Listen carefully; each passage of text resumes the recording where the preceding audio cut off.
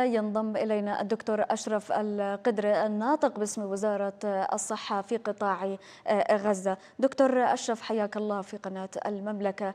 نتحدث عن الوضع الصحي للأسف الذي كان متهالكا قبل هذا العدوان الإسرائيلي الجديد على القطاع. ولكن مع الانتهاكات الإسرائيلية الجديدة على القطاع كيف هو الوضع الصحي في القطاع؟ كيف يدبر بالعامية نقول كيف يدبر الغزيون أمورهم هناك في القطاع صحيا. بسم الله الرحمن الرحيم. بداية نسأل الله عز وجل أن يرحم شهداءنا وأن يشفي جرحانا وأن يسلم شعبنا من هذا التغول الصهيوني المستمر لليوم الخامس على التوالي والتي بات لا يبقي ولا يظهر في الكتلة المدنية من استهداف مركز للمنازل والأحياء السكنية المكتظة بالسكان وهو ما رفع عدد الشهداء والجرحى بين صفوف المدنيين العزل وهذا الذي يرهق المنظومة الصحية التي لا تقوى على القيام بواجباتها إذا ما استمر العدوان الإسرائيلي أكثر من ذلك وفي تخفيف أكثر من ذلك خاصة وأن المنظومة الصحية تعاني أساسا بفعل الحصار الإسرائيلي من نقص حاد في الأدوية بنسبه 45% غير متوفرة. و 33% من المستهلكات الطبية أيضا غير متوفرة و56% من لوازم مختبرات وبنوك الدم في القائمة الأساسية أيضا غير متوفرة، هذا العدوان أيضا يأتي بالتزامن مع جهود وزارة الصحة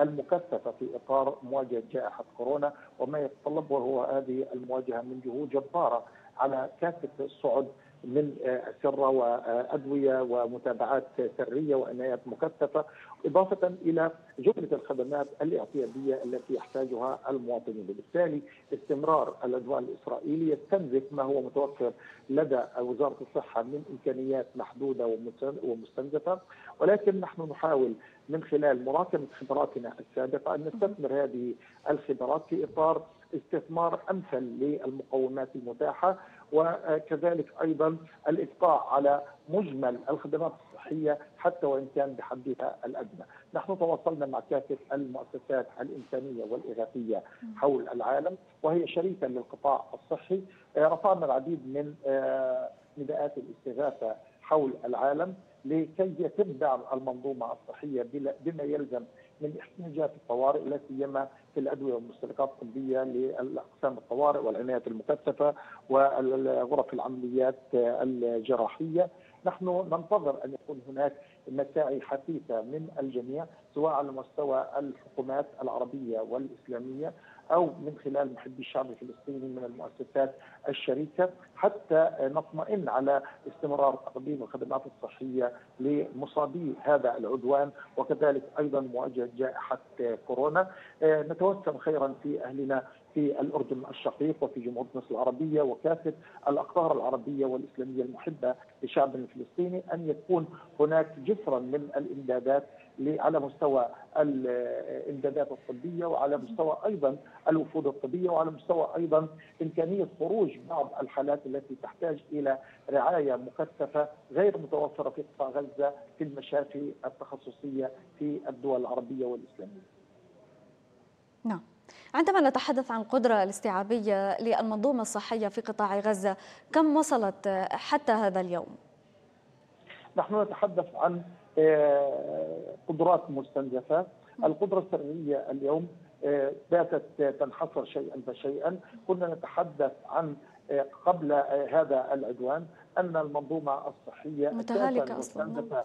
ومتهالكه بفعل الحصار الإسرائيلي ومواجهة جائحة كورونا.